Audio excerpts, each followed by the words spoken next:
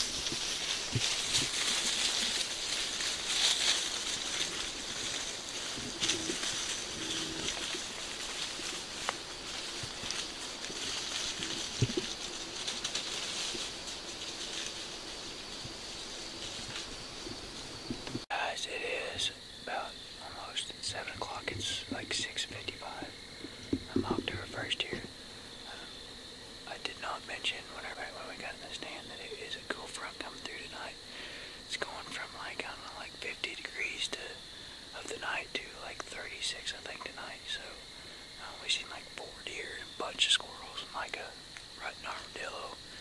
Um, so, uh, this is Armadillo Outlaw, so, uh, but, uh, I guess, uh, we're planning on Saturday morning is our next time to hunt. We might try to go in the morning, but don't know if the parents will let us go, but, um, our next time, we're definitely, good Lord's willing, to going, um, is, uh, Saturday morning.